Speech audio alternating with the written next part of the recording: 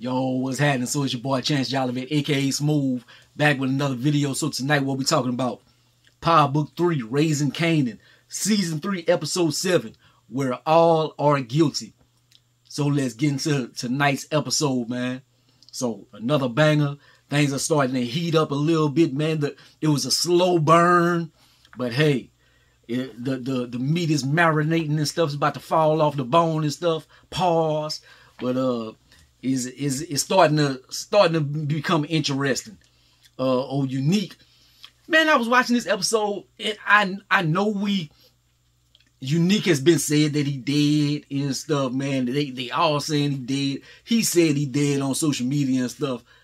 Man, for some reason, I'm watching this episode and it just hit me like maybe towards the end of the episode. I'm like, I feel like he gonna pop up at some point, man. Like maybe not pop up, but I feel like maybe at the end of the se- end of the season, like the season finale on the end credits or something, they might show him like in like somebody find him in the woods or something, man. And so maybe they give like a glimmer to maybe he can come back.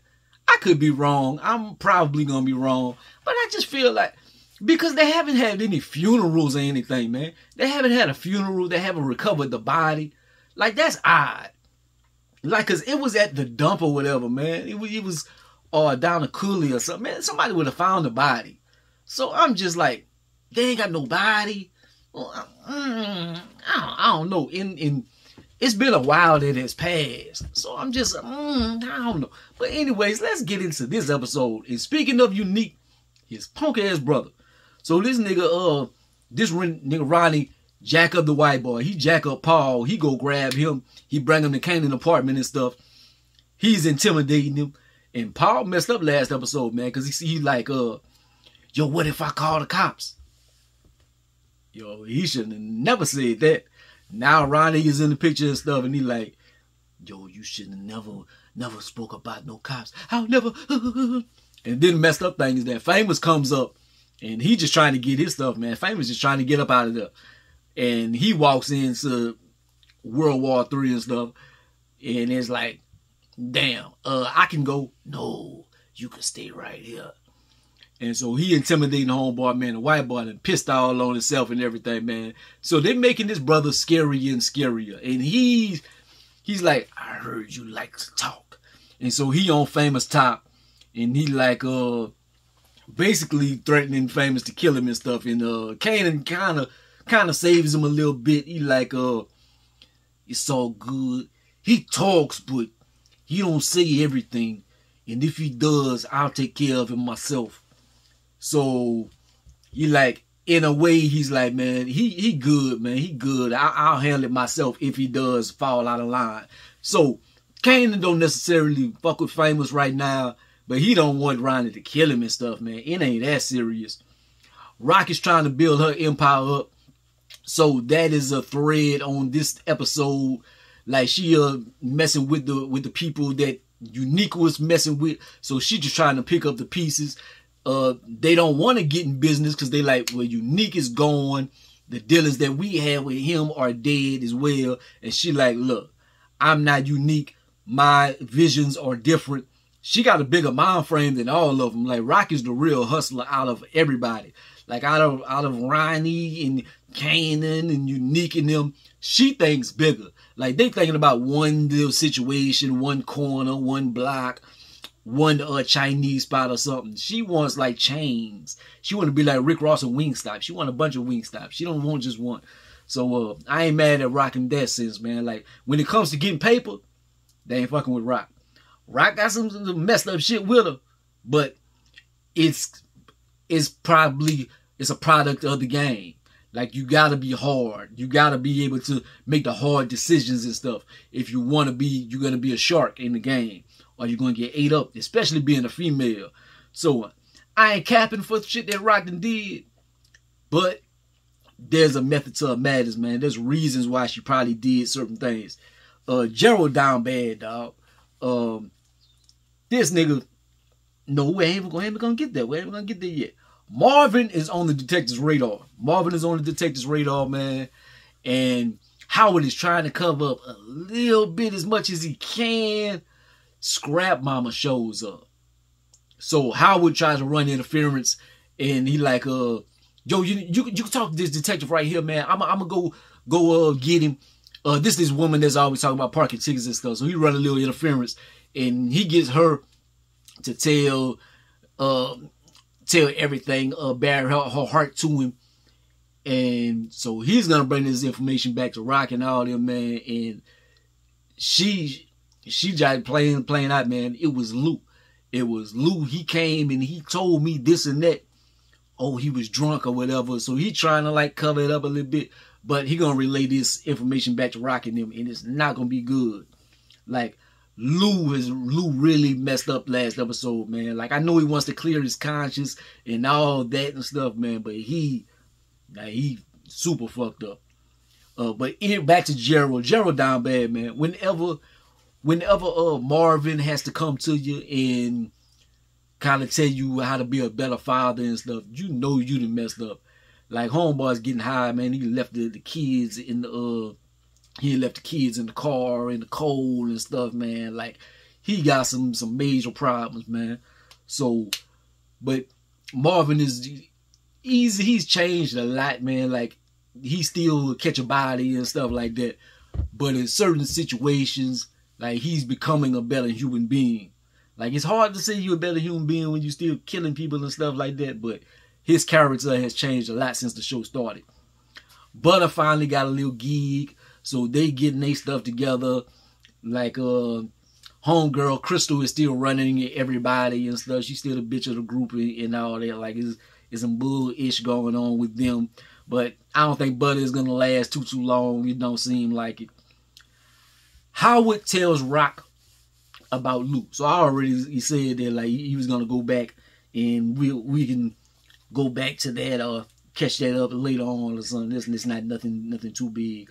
Uh, Juke still fucking with the military, man. Like, but it, it is smart to have a backup plan. But it seems like there's not a backup plan. It's like a I don't know, one A and one B. But she she got the group, and you would think that would be where her whole mind frame would be. But she still, I guess she's just trying to get away by any means necessary. Like she really like uh, she a hustler in a different means of the word. Like she ain't selling no dope or nothing. She trying to get through like legitly and legitimately and stuff like that. Like she wants better for herself. And you can't be mad at her for that, man. Crystal is flirting with Kanan and stuff, man. We see homegirl Aisha. I, she might be bulimic or something. I would think that, that maybe she was pregnant. But then I'm like, I don't her and Kanan didn't do anything. And I don't know if she had another dude before or anything, but I'm thinking she might be bulimic or something. Uh anorexic or what whatever it is. I think bulimic is the word. But I think that might be her thing why she be throwing up and stuff. She get anxiety and she feel like she's not worth worthy like the other girls and stuff. So I think that's that's her problem. Uh Raq is getting her shit together. She moving through the restaurants and stuff. Like I already said, like she trying to run chains and stuff. So she's getting getting all the information that she needs and she talking to the players that she needs to talk to. She's doing things the right way, man. When it get, comes to hustling, like Raq is the one. Uh, was Kanan wrong in the theater, dog? He was wrong. He was wrong in the motherfucker, dog. Like he on the date, he kissing and stuff, man. But he trying to he trying to go to third base. He trying to round home plate and stuff, and she ain't ready for that. And you you, we've all been young before, especially older cats like in the 90s and stuff like that, the 80s, 90s and stuff. You try to push a limit, probably maybe nowadays too, but like it's like the older you get, man, motherfuckers look, they ain't interested. No is no. Look, they ain't ain't none of that. Oh, come on, come on, girl, come on. No, no, okay, I gotta go. Like, ain't none of that. But uh, Kanan is doing this. He, uh, he on some bullshit. He, then he's. I'm trying to think about what movie. He he doing like Hollywood on uh, Love Jones. Walk, walk, then walk. He like, you know, you could, you could, you know how to use the train. You can go. I'm gonna finish watching the rest of the movie. At that point, I'm thinking, man, maybe something gonna happen to Aisha whenever she left or something. Cause jukebox changes. We seen how jukebox died and how her life changed. and she wasn't the same jukebox. So I'm trying to think of what's gonna happen. I'm thinking it's gonna have something to do with her daddy, man. I think Marvin is gonna get killed at some point, and that's gonna be the the thing that that really breaks Juke and really changes her for uh for the worse. Because Juke is a, is a good person at this time, man. Fucked up thing with Lou. Like last episode, he went tell Scrap Mama and stuff. He didn't even realize he did it. Like he like subconsciously made his way to this woman's house and was drunk, drunkenly made it there and blacked out and told, spilled his heart out. Like, damn, nigga. I think you might want to quit drinking when you didn't you didn't drove somewhere, you didn't went to some woman, spilled your heart out, did everything, drove back to your house, went bed to bed, and did all this and that, went on with your days and your life, and don't remember shit nigga, it's time to put that bottle down. Like, he's a risk to everybody. At this point, whenever something like that happens, Lou needs to be taken off the map, to be honest. Like, he is a risk for everybody. If you can black out and snitch like that, what what's to say that you won't go to the police station next time or something, man? Like, Ronnie fucking with the plug, and he kicked Pernessa out of her own, own house. But back to him fucking with the plug. Like this is like one of the driest potential sex scenes I'd ever seen. So she kissing on him. I want you to make me feel good. I'll make you feel good. And he's just like, I'm like, man, what is wrong with Ronnie, dog? Like, I'm glad we ain't had no sex scene with him, man. How that would have been. like this nigga right here. Ronnie is Michael Myers incarnated, the black Michael Myers and stuff. Like he is, he is fucked up. Uh, Rocky's back investigating the restaurants and stuff, man. Like she's looking at how they they haul in their supplies and stuff. That's gonna be how she gonna gonna do her thing. She gonna act like she bringing supplies in. That's how she gonna bring the dope to different uh, locations and whatnot. That's how she's gonna uh sub sub for I'm trying to think of big words and stuff. How she's going to bypass the police and everything. Like she's she always on her shit. Howard got the job, so he's to be the, the inside man in the situation. Uh, Burke's father was at the place, and Howard is smiling up in his face, and if you need anything or whatever, yeah, I think uh, at some point they're gonna cross paths again. It ain't gonna be good. Kanan is talking crazy to Juke. Juke goes and talks about how he did Aisha and stuff, man. And like he talking crazy to her, and she like, I know you. I wiped your nose. You still just a scared little boy that's trying to prove to his mama that he's a man. And she ain't lying. Like Kanan, he you you he wants to be this hard dude. He is changing, but he's still he's not who he wants to be, who he think he is. Not yet, at least. Like right now, he's still kind of fronting, but Juke knows that. And then Ronnie is like, I can I can talk to her. You ain't never gonna talk to my people. That's my family. So that's some that's at least some G shit that Kanan does in that extent. Like he loves him some Juke. And that's fucked up that he's the one that ends up killing Juke. But that's not a spoiler or something. You seen that way back in like power of season five or something. But uh Burke, like I said, I think they're gonna cross paths again. He met up with Burke's uh Burke's father met up with the girlfriend. And she's like, I don't want to get into it. She was obsessed with Howard, but I don't want to go anywhere near Howard. I think at some point, man, like the spider sense gonna go off. He's gonna be like, something up with Howard, man.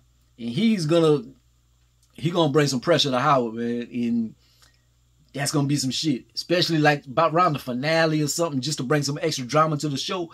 I can see that happening. Uh Ronnie Ronnie is torturing Pernessa at this this uh juncture. Like she's to the mama house. He didn't he didn't follow up that. Oh, that's where your mama stayed. Yeah, and I don't want nothing to happen to you like down there. And yeah, your son, you all he got now. And he's threatening her on the cool. Like not even on the cool, like like uh on the hot. that was corny. I, I there's but anyways, anyways, Lou and Lou and Raq Mama, like we see how they end up fucked up. yeah, they they fucked up because they mama fucked up. She just go, yo, your sister, your sister, uh, her money tied up. She ain't been breaking me off. You gotta give me yo some money and your daddy and this. Like she is, she ain't shit. So we kind of see how Lou. It, it, I guess it affected everybody. Everybody got they fucked up things in the family, but Lou is like really going through it right now. Uh, Crystal, throw that coochie at uh Kanan, man. Like she called him, he goes to the apartment and stuff, and she's not like Aisha. Like she's like upfront about it, and whenever he gets there, she they don't have no scene or anything, but it's it's uh insinuated that something went down. So that's gonna be some more drama with Butter, of course. At the end of the episode, man, Lou has to go and fix his shit. So he goes to Scrap Mama, he, he kills the lady. But the crazy thing, cause he he shot and she fell through the table and stuff. He killed her. Then they had another shot. I'm like, oh, Luden killed himself in the in the girl house. But he walks out of there and stuff.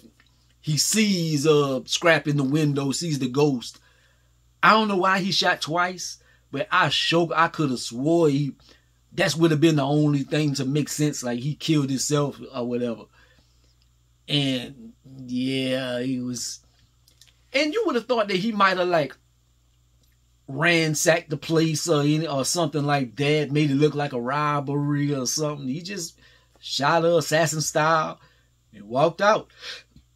He had to do what he had to do. But he wouldn't have had to do that if his drunk ass never showed up to that woman's spot, dog. So that's toe up. But anyways, next episode, Raq is trying to save Kanan. Ronnie is telling uh Kanan, you don't have to listen to her. You ain't got to worry about her or something. So it's kind of like, yo, I- will kill your mama for you if you want. It's, it's it's about to heat up, man. It's looking like some like some shit. But anyways, man, like, uh, like to do these videos. I sometimes I be like, why am I just talking about the episode or something? But sometimes I, I don't know about y'all, but sometimes like when I watch a show or something, I'd be like, man, I wish I had somebody to talk to about this. So this is just like my way of like speaking. And for any of y'all that have that same thought about, man, I wish I would like, like, I wish I could talk to somebody about this. like, I'm speaking to you. So hit me up in the comment section, man. Let's chop it up about the episode and whatnot, man. But, uh, yeah, I, I, I done stuttered a, a, little bit, be trying to get my words out, be getting my thoughts out and stuff, man, be hesitating and stuff.